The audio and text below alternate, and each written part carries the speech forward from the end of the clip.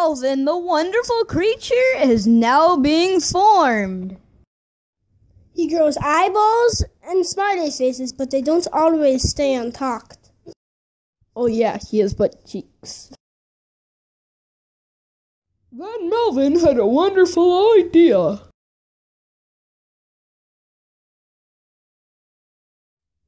Is that a hat?